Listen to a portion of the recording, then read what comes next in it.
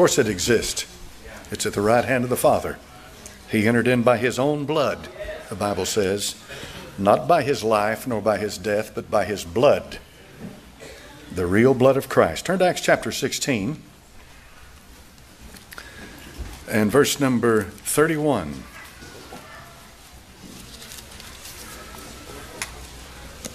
Acts chapter 16.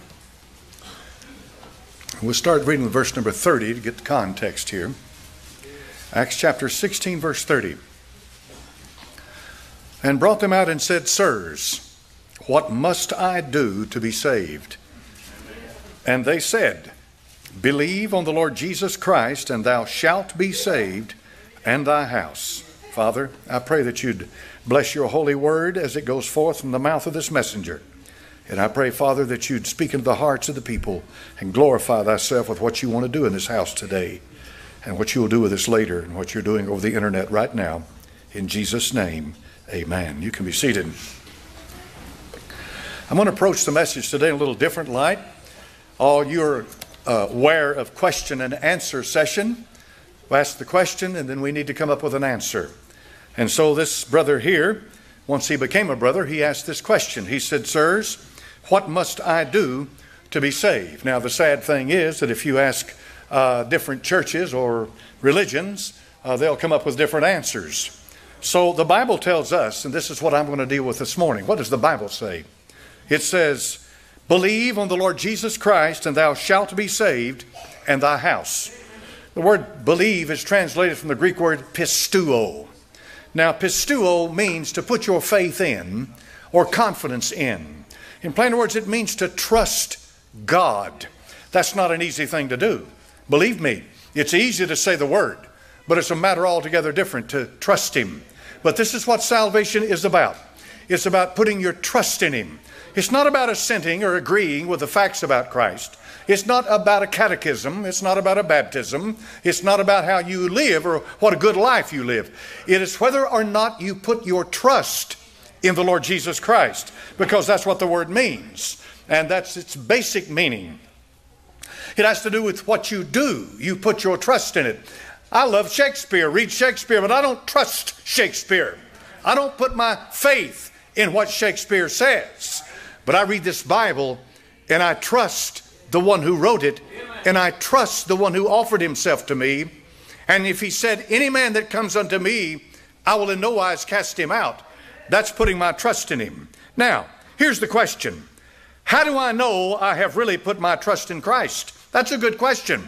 That's a fair, honest question. How do I know that I have really put my trust in Christ? Answer You will have the Holy Ghost move into you. In Romans chapter number 8 and verse number 9, the scripture says, But ye are not in the flesh, but in the Spirit, if so be that the Spirit of God dwell in you. Dwelling has to do with moving from one location to another and taking up residence. He dwells in you. So, how do you know that you have the Holy Ghost move into you? How do you know that? Because this is what the Bible says in Romans chapter number 8, verse number 5. So, how do I know that the Holy Ghost has moved into me? Let me give you some answers. In the book of Ephesians, chapter number 6, and verse number 24, you're going to read these words Grace be with all them that love our Lord Jesus Christ in sincerity. When the, when the Holy Ghost moves into you, if He's the real Holy Spirit, not just the spirit of religion or of good works or of, of humanism, you're going to love the Lord Jesus Christ. Amen. That is proof positive if you have a real love for the Son of God. How do I know I love him? Of course, you know. You can continue on with these questions. Let me tell you how you know you love him. You want him to be preeminent in your life. You think about him all day long. You pray to him because he's your Savior. You love him because he first loved you. You're not interested in somebody bragging about you if they're bragging about Jesus. Amen. The Lord Jesus Christ becomes the object of your life. He's the one you're living for. You love him. You talk about him. He inspires you. And when someone denigrates his name, runs him down, it, it, it hurts because you love him. And when somebody does that to the one you love, it's going to affect you. So that is one of the signs that the Holy Spirit has moved into your heart. In the book of Romans, chapter number 7 and verse number 15, here's another sign that the Holy Ghost has moved into your soul. Romans, chapter number 7 and verse number 15. For that which I do, I allow not. For what I would, that do I. But what I hate, that do I. You hate sin. You hate the old man you used to be. You hate the places you used to go to. You hate what you used to be. And I'm talking about real hatred. I'm not talking about indifference. I'm talking about absolute hatred for sin as you see it to develop about you in this culture and the remnants of it in your life. You go to war against what used to be, what you used to be. you hate it with all the hate that you could possibly muster. Hating sin will not get you saved. Hating the way someone else lives will not save you. Hate does not save you. If the hate is directed in the right direction and you love the Lord Jesus Christ, it's an evident sign you know him. Amen. In the book of Romans, chapter number 7 and verse number 22, how you will, when, how do I know the Holy Ghost has moved in? Because you will want to read the Bible. The apostle said, I delight in the law of God after the inward man. If the Holy Spirit moves into your heart, He will lead you to the author of that book, God Almighty. That book is a love letter to you, written on a level that you can understand, written on a spiritual level that you can receive. If you are born of the Spirit of God, the Bible will take on a completely new meaning. It is a book that comes alive and is no longer the enigma wrapped up in a riddle that you can no longer that you can't understand.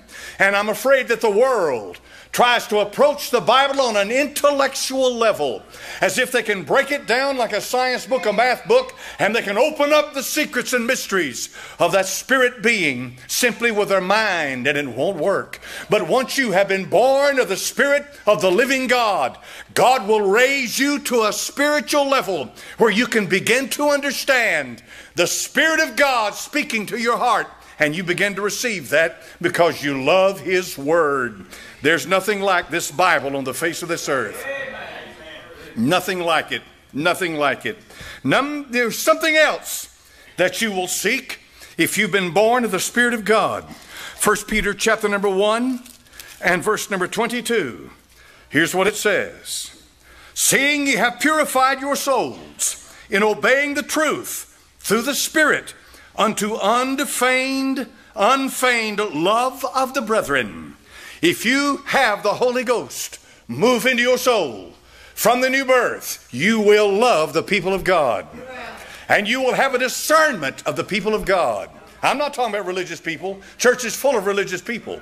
I'm talking about a brother or a sister in Christ. You'll love them. You will have a love for them, and you'll have a love for His people in a collective body. You'll have a love for His church. You'll have a love to come together and worship God because you have a fellowship with each other that is born of the Spirit of God, and there is no substitute for it. If you hate church, hate preaching, hate all of this, and yet you say, I love Jesus, I wonder what you're talking about. Because he said, Upon this rock I'll build my church, and the gates of hell shall not prevail against it. The Greek word translated church is ecclesia. That word simply means a called out assembly. In one place, it's a drunken mob in the street because they're called out. Out.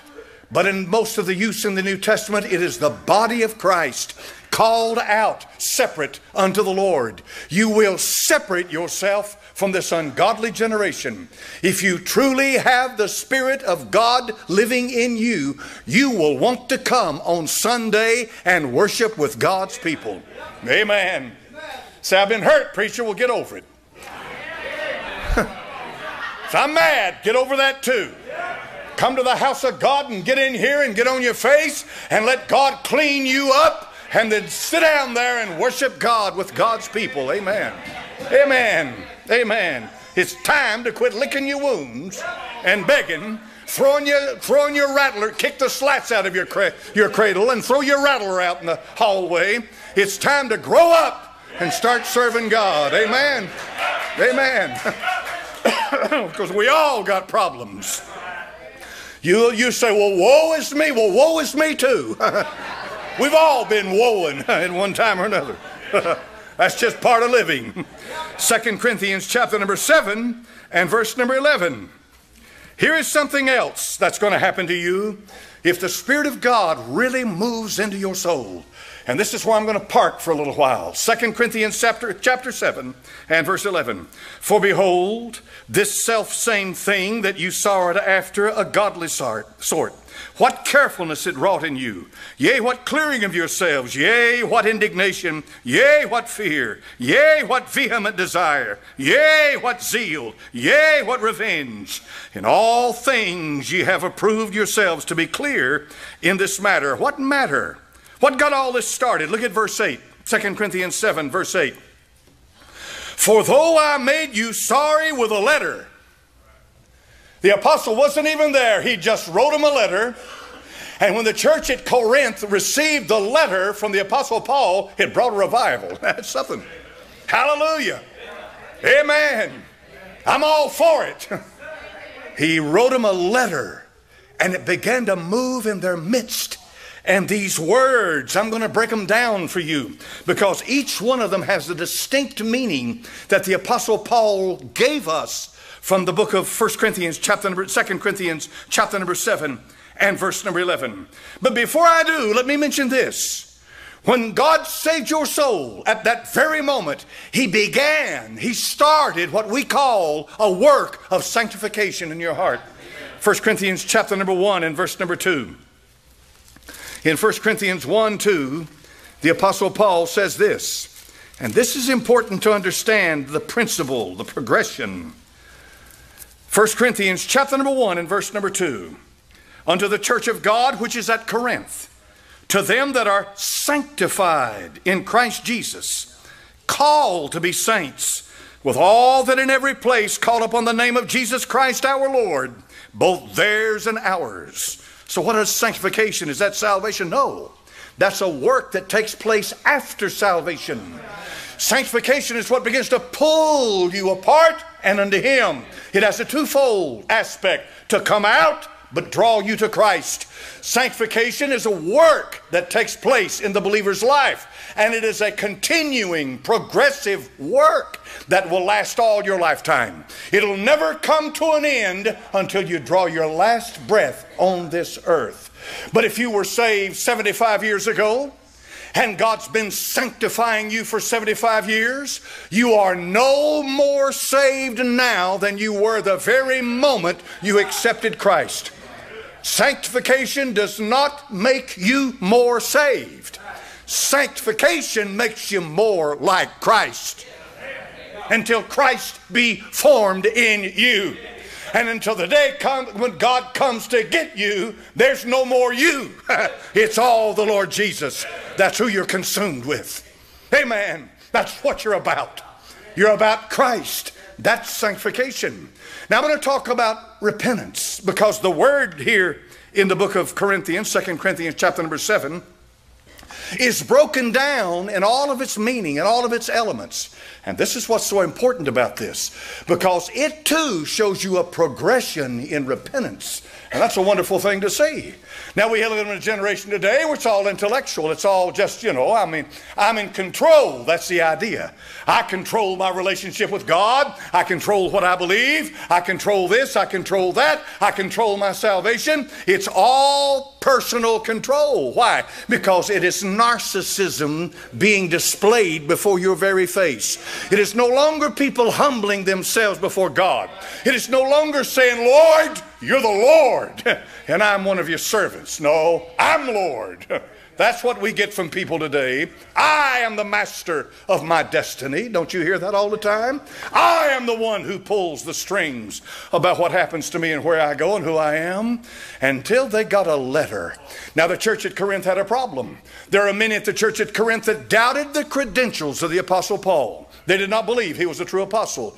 There were those who were puffed up. They were proud. They were arrogant. They went around boasting and bragging. We had a group there, a group there at Corinth who were followers of men. I'm of Paul. I'm of Apollos. I'm of Cephas. I'm of Christ. And the apostle rebuked them for that. At the church at Corinth, they had a problem with one who had his father's wife. And he was fornicating. I don't know if it's his mother or stepmother, but he was fornicating. And instead of being, instead of weeping, and crying and, and praying over such a heinous thing, they were puffed up.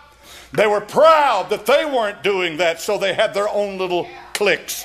There is no more cliquey church in the New Testament than the church at Corinth. Shot full of sectarianism, cliques, and that's what we have at Corinth. So the Apostle Paul wrote him a letter. And when he wrote him that letter, he began to spell out to them what their problem was. Now he said, When I come into your midst, I'm base among you. And when you see me, I don't appear to you like Apollos, who was very eloquent. We read about him in the book of Acts this morning, chapter 19. He was. Apollos was eloquent. He could stand tall, speak well. He commanded attention. The Apostle Paul was not like that. His voice was not like that. His appearance was not like that. But he was an apostle of God. He was anointed of God. And he said, The signs of an apostle were wrought by me in your midst. So he writes them a letter and he goes to the heart of the problem. And when he wrote them that letter and brought out the problems, here's what they did. Now I'm going to take the Greek words that are translated into English and I'm going to give you the meaning of every one of them. First of all, he said, What carefulness it wrought in you. Second Corinthians chapter number 7 verse 11. What carefulness it wrought in you. The Greek word is spoude and it means speed, quick to take action. When you got the letter, you awakened. It is the awakening of the sinner that starts it all, right? It is that day that you awakened and uh, you looked at yourself and you said, "Hold on. I don't care what everybody says, what everybody's doing. What about me? Who am I? Where do I stand with God?" And you awaken. Yeah, an epiphany, an awakening. That's the first step of getting right with God. Awakening to your true condition. Awaken to who you really are, not who you think you are, who people say you are, all your accomplishments, who you really are. And there's only one that can tell you who you really are. Not me. Him. Notice the next thing he said in 2 Corinthians chapter number 7. He said, Behold, for the self same thing ye sought after a godly sort, what carefulness, what awakening it wrought in you, yea, what clearing of yourselves. That's a remarkable thing. The Greek word apologia. And you know what an apology is, don't you? It came straight from Greek. Apology came from apologia. What does it really mean? It means a clearing confession. The soul begins to open up flowing from the lips of that individual that has been awakened. Now they're no longer hiding behind a facade of religion or hiding behind people, but they have awakened and now something begins to come out from the inside of them. They're confessing. They're giving forth from their heart. And boy, does it ever flow. This is repentance we're talking about this morning. This is how repentance works. It gets you out of the intellectual salvation and gets you into the heart faith. And oh, how the heart can change your life. You can think you're one thing one day and think you're something else the next day, your mind's nothing. But when that heart begins to awaken, that heart is who you really think, how you really think and what you. The Bible says here that he said, What clearing? Now they begin to confess. It gets very, very uncomfortable. I can imagine being sitting in a crowd at the church at Corinth, and they have a little group together, and they've been doing some praying, and the people starting to wake up, and now they're starting to confess. And my goodness, it can get real touchy. I mean, here's one who said, Well, I have to tell this, but God won't let me leave until I tell this. I've been having an affair with your wife. oh boy. And she, of course, is sitting there and And now we've got this guy confessing, and she falls on her face and says, It's true, we have been having an affair.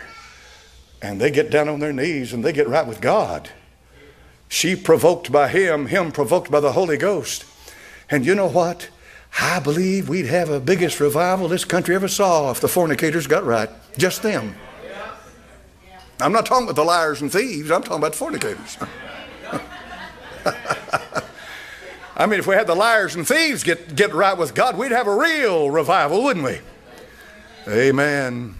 Amen. You see what's happening in Hollywood right now, don't you? This one's having accusations against him. This one's confessing. This woman's come out. This one's come out. And this one, this. And they tell us now that the actors are walking very softly out there in Hollywood. Many of them are walking very softly because they're afraid they may be the next one. It was something they did 20, 30, 40 years ago. Confession, they say, is good for the soul. If you have really had Christ move into your heart, you will be brought back to what you lived in the past. And all of the ugliness of it is going to rise up inside you, and you're going to confess it. Now, you don't have to get up. Let me give you a word of warning. I saw some of you moving in your seat. You're getting ready to come down here. And we got some sweat going on in here today. no, you, you don't have to get up and come down here and say, well, now, come here. you know what we've been doing? No, but you need to do it with God and not man. Amen. Do it with God. Do it with God. The deep things the things that eat you up, the stuff in your life, get in your closet, shut the door, and tell it to the one that can forgive you. You see, folks, that clearing of your soul is the progress of forgiveness. Bring it out, get it forgiven. Bring it out, get it forgiven. Don't cover it up. Don't hide behind it. Don't hide it. Don't explain it away. Confess it. If you confess your faults, your sins, He's faithful and just to forgive you.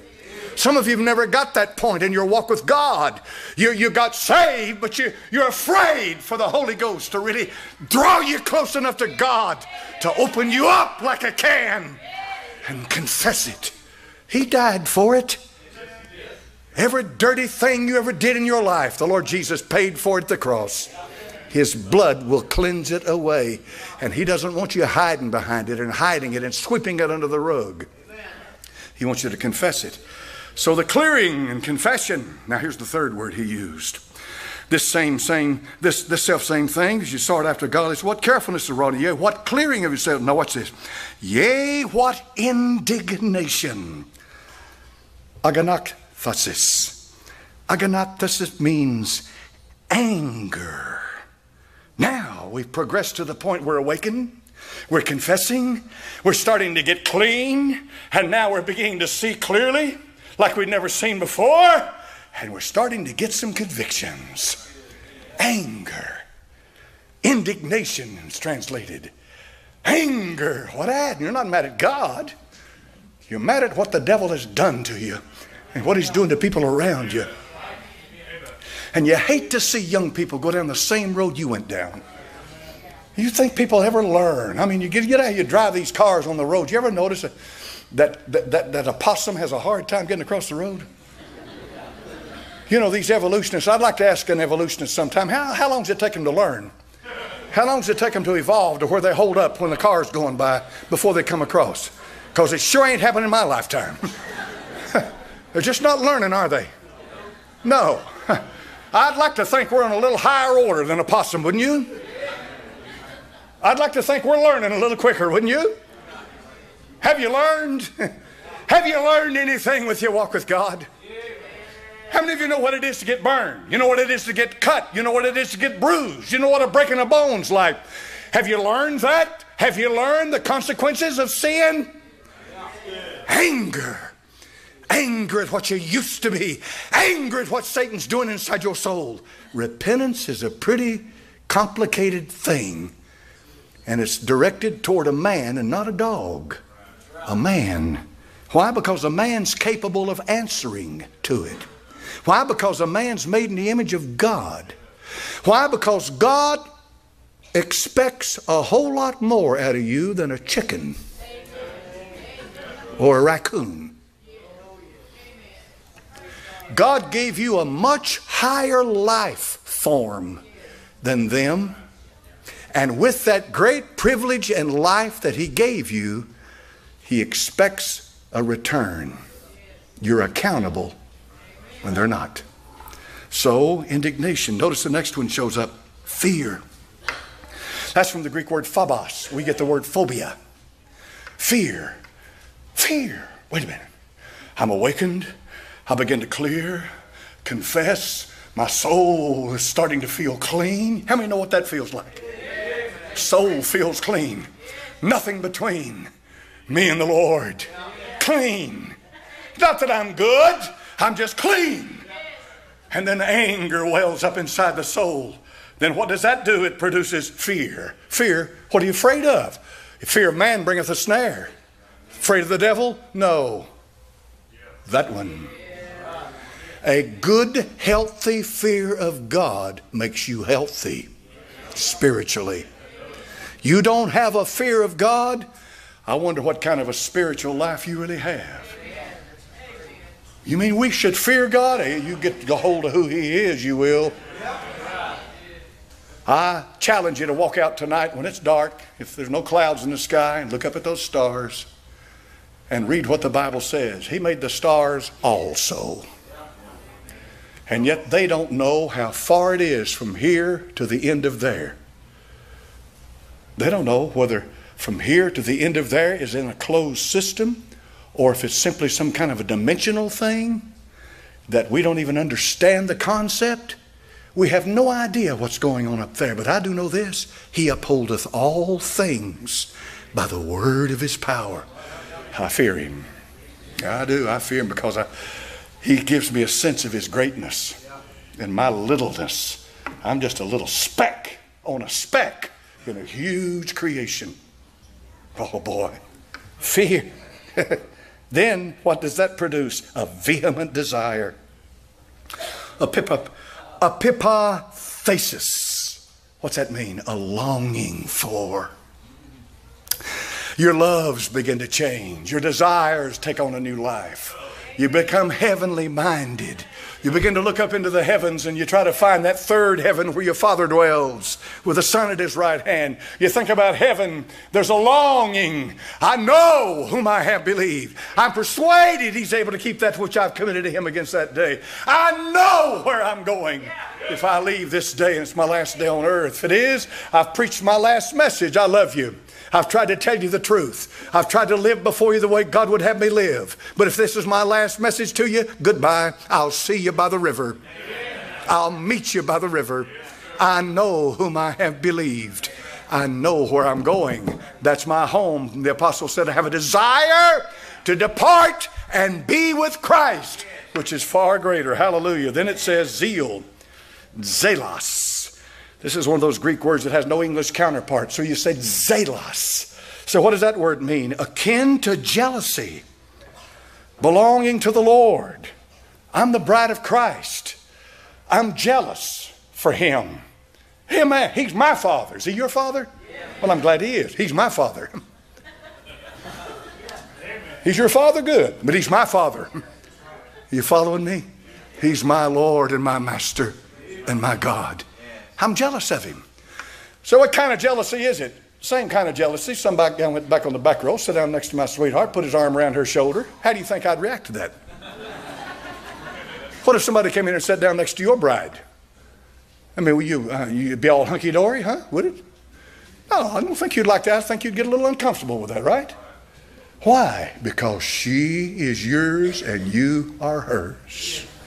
He is mine and I am his. This repentance is beginning to work a relationship now. It's cleaned you out, it's wakened you up, it's given you the anger you need, and now it's beginning to build a relationship. Didn't know repentance had so much in it. And then the last word he uses is revenge. Ekdikasis. Ekdikasis. What does that word mean? It means to restore, retribution, restore, restoration. In other words, it gives you a real purpose in life. If you've really repented and you understand all the nuances of what I'm talking about, the final product is I know why I'm here. You don't have to tell me why I'm here. For to me to live is Christ. I don't need anybody to write a book and tell me what my purpose in life is about. I know what my purpose is. My purpose is to live for Him, love Him, adore Him, exalt Him, and lift Him up. I got a remarkable letter and a remarkable email in the last few days. Let me tell you about both of them. I'm talking about remarkable. When I read it, I thought, this man is a Christian. He's got to be telling me the truth. So I'm going to accept what he said in his letter as the truth. The man who wrote the letter is from the United States. The woman who sent me the email is from Great Britain. I'm sure they don't know each other. I'm sure they have no connection. But the man who wrote the letter says, I go out on the street. He says, I go up to prostitutes and I pay them to come and listen to your message on hell. He said, They'll listen to that message on hell. And he said, I've watched them scream. I've watched them break down. I've watched them cry out to God. He said, I've watched them get saved. He pays them.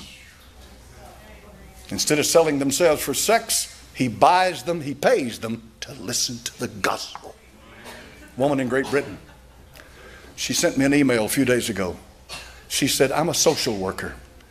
I work with people. She says, I get these girls that are drug addicts, they're prostitutes. She says, I take them to the churches over here.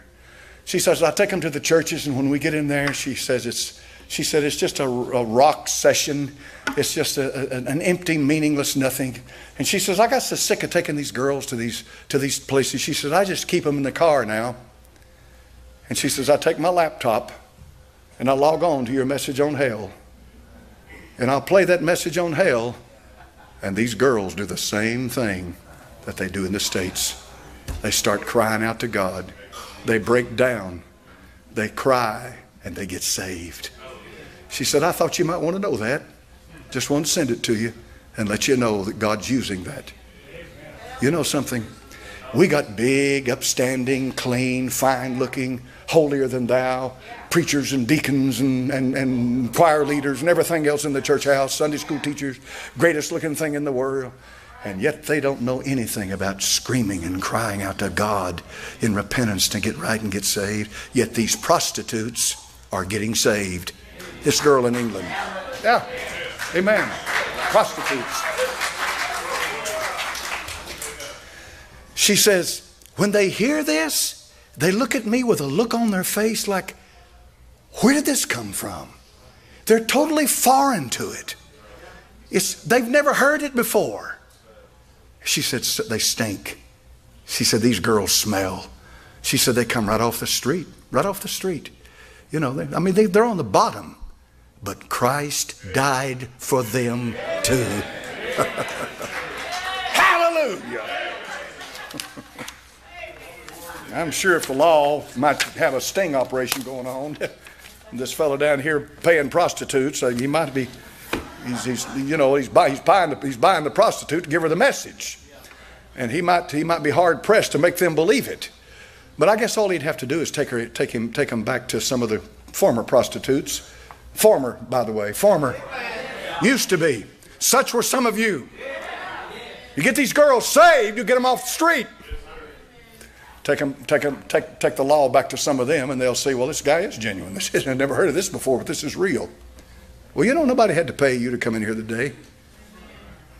One day you'll be standing next to people, folks, that were prostitutes. Some of them were murderers. Some were the lowest scum on the face of the earth, yet they're born again. That's what it's about. That's what it's all about. And your life will change. If the Holy Ghost has ever truly moved into your soul, folks, a change is taking place that will not consummate until you're gone from here. Salvation is an immediate, finished thing. It can't change, but sanctification will. How many of you like to say to the Lord this morning, Lord? Well, some of that preacher said to me this morning, it struck home because you got me to a point, but I couldn't go any further. I was so embarrassed with what I used to be that I just no way I could confess that to you because I'm, I'm so ashamed of it. That's the devil working you over. Had a man at a radio station uh, 30 years ago. I was taking a tape over to the radio station. It was late one evening, I think. I took my tapes in there, and we took our tapes. We used to take them and put them up in a certain place. I took my tape in there, and he said, Preacher, can I talk to you for just a minute? I said, Sure, you can. And he was the one on duty right then, the one running the radio station. He said, You know, I killed men back in World War II. He said, At night like this, it just eats my soul alive. He said, It eats me up. He said, he said Satan wires me out with it. He said, But I killed men in World War II. I said, Well, you were a warrior. They were trying to kill you, you trying to kill them. You're a soldier. You know, that's one thing. You're out there doing what your country called you to do, that's your duty. It's not a pretty thing and it's not something anybody wants. Nobody wants to kill somebody. That's as far and foreign to human nature as it can possibly be.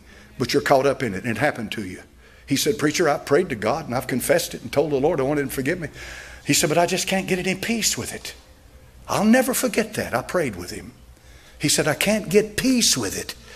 Here's what was happening to him it was something too big in his life for him to believe that God could forgive him for it. He could believe that God would save him, but what he had done was so bad in his life that he could not get forgiveness. Let me tell you something. There is nothing, and I mean nothing, absolutely nothing, that the blood of Jesus Christ, God's Son, will not cleanse. So I don't care how big it is. I don't care how much the devil's beating you to death with it, Maybe for 30 or 40 years, he'll, he'll forgive you. He'll cleanse you. And the forgiveness has already taken place. What you need to do is accept that forgiveness and receive it into your heart and say, Lord, I am forgiven, Anna. Yes, you are. You're not forgiven because of what you do. You're forgiven because of what he's done. It's all built upon the finished work of Christ. Maybe that's where some of you are. You don't even recognize it. But you've come to, like this, far, you can't go any further, against a brick wall. You need to receive what the Lord's done for you. Amen. I can't stress that enough. Father, thank you for your holy word, for the opportunity to stand one more time and proclaim it. I am blessed, I am blessed, I am blessed. What a privilege that you've given me to stand and proclaim your holy word. Bless your righteous name. Now, Father, may your word work in the hearts of the people who've heard it. May it produce fruit, Lord, for the glory of God. May you do what you want to do in this house today. It's in your hands now. The messenger's finished.